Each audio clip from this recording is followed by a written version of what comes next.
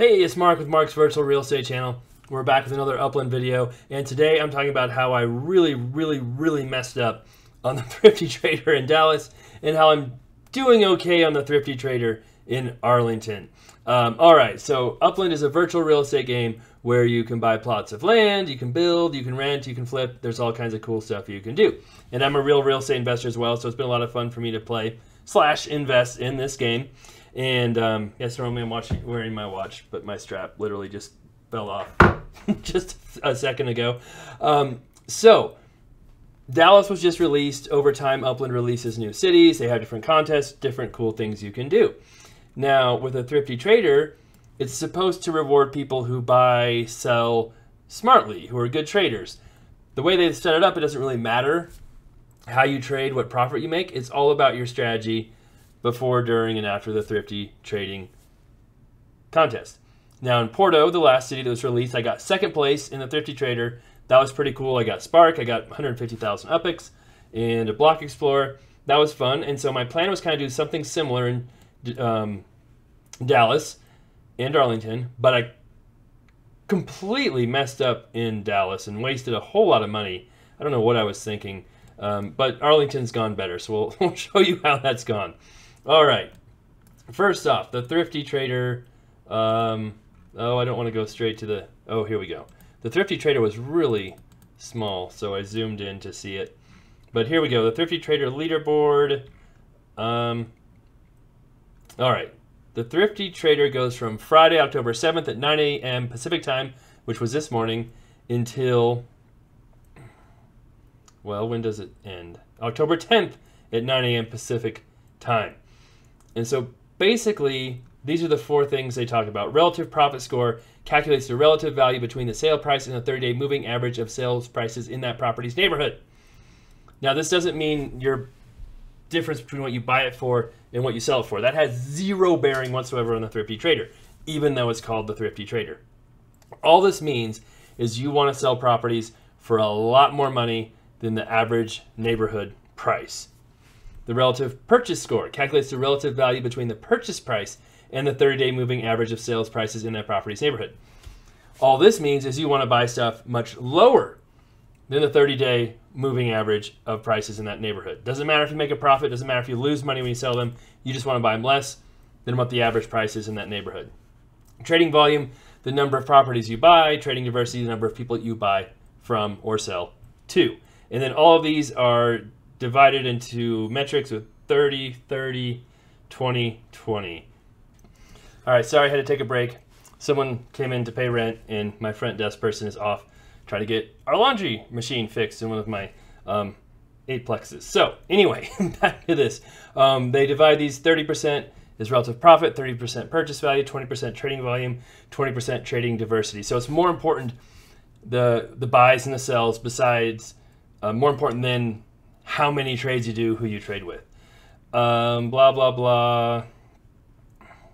Rewards. So you get block explorers if you're in the top 200. And then the people who are in the top um, 100. How do we do this? One um, bracket. I don't know how they. A lot of people get that. So basically, if you're within 100 and almost everybody gets some UPIX now, right? Really? Yeah. Did they change that? Okay, so I think almost everyone gets some UPIX, not very much.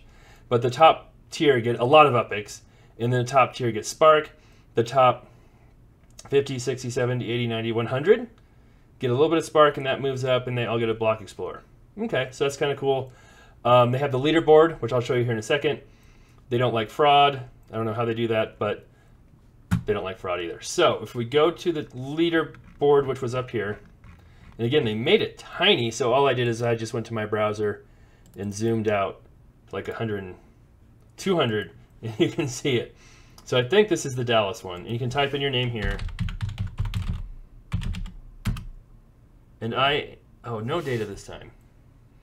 Sometimes it does that if you've done it once. It's kind of annoying. But if you refresh it, it should let you Okay, well, that's exciting. Anyway, I wasn't doing good on that one, so I may have. Um, oh, I didn't show up. Well, I don't need to show up there either. Because I'm second right there. Um, this one I am not anywhere close to the leaderboard. I don't know. Get out of here. This one I'm second. And I should have um, move up quite a bit here because I just bought a bunch of properties.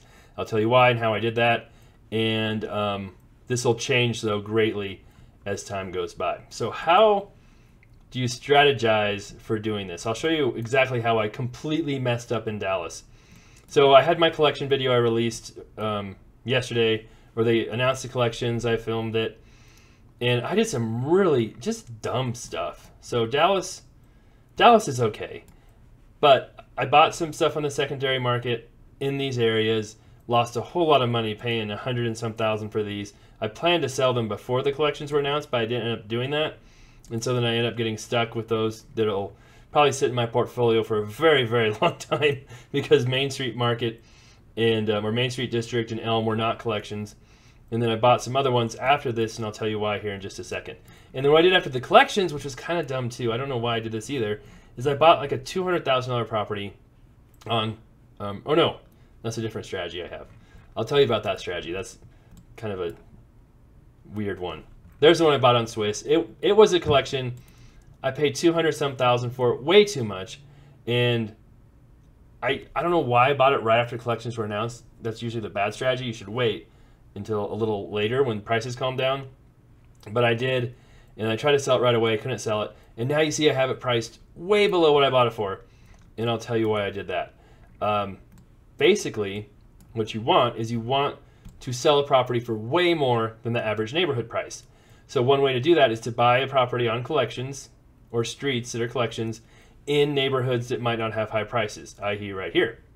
Now, I could have bought a property on Main Street or Elm and tried to sell that for a bunch in Main Street District, but the Main Street District was selling for a ton before the collections were announced, so you wouldn't have that big relative value jump. You want to buy in a neighborhood that has much lower prices from the beginning.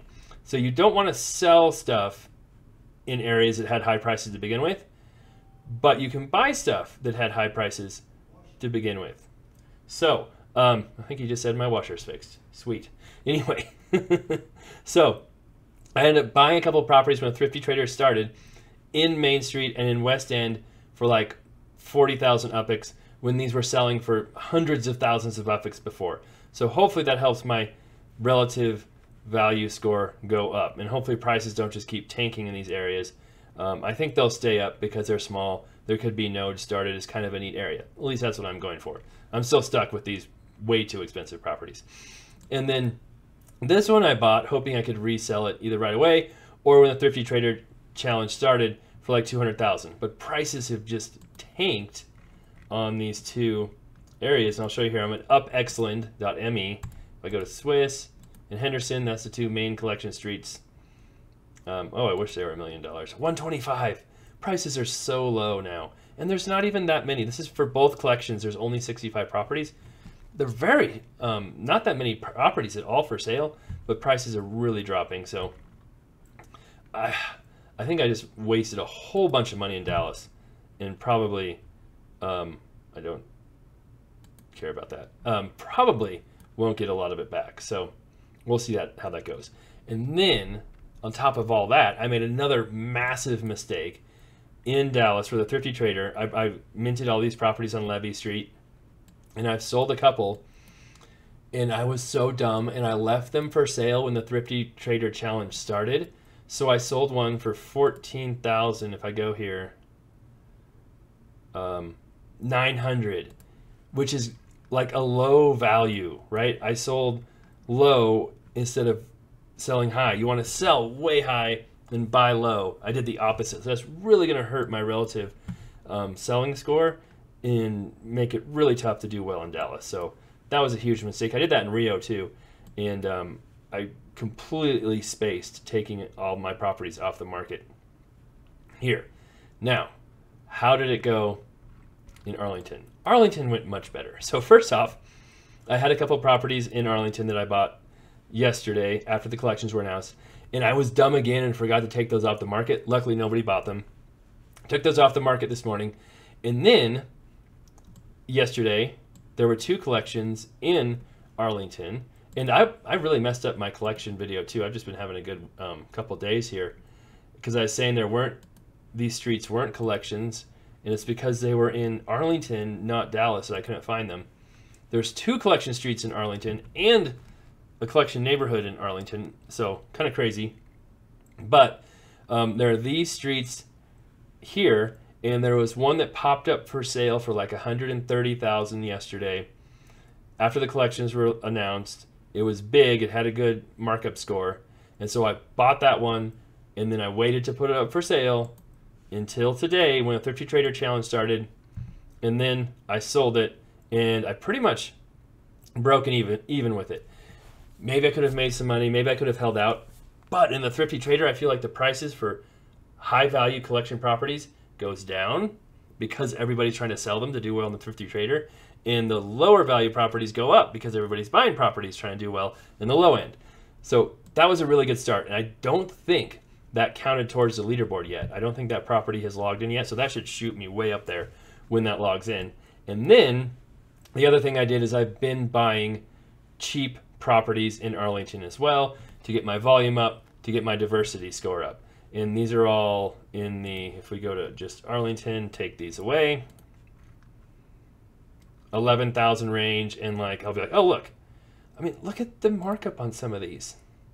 I bought three this morning that were below mint price in a collection area during the Thrifty Trader. So I was pretty happy about that. And so I've just been buying them here. And I figure it's not the worst thing in the world to buy properties at mint or just below mint in a collection area, even though you can see there's not a lot minted here. Um, and it helps me with the thrifty trader. So I've been doing that. So that's why I have all these properties over here in Arlington to help with the diversity score and volume score and the relative buy score because I'm buying them cheap as I can and then even though most of Arlington is already pretty cheap, right? There's no other like neighborhood to go to. You have no other choice of buying a cheap one. This is your only choice. And then there will be some more expensive ones selling on those collection streets as well, or bigger properties before. So I don't think anybody else is going to be finding cheaper properties to buy, is my point there. So we'll see how that works. So Arlington, good. Dallas, bad. Um, I I just don't know what I was thinking on some of this stuff in Dallas, but uh, you live and you learn. It could be much worse. I dropped myself down to like 20,000 UPIX after having, I think, more than a million before this start. This city was released. So hopefully over time I can get some of that back. Um, a lot of that is stuff I minted on Levy, so I minted it for that price, so I'll be making a decent return. But still, I would I would love love to sell some of that and get some more cushion in there as well. So we'll see how all of that all of that goes. All right, so we'll see how the Thrifty Trader goes, see how I can do. I'm pretty positive about Arlington, pretty negative about Dallas. I, I might get a Block Explorer, maybe some UPIX, small, maybe a little bit of Spark. This one I think I've got a chance to win, so we'll see how that goes. All right, thanks for watching. Love the support, love the likes, love the shares. Keep those coming, and we'll have many more updates coming up soon.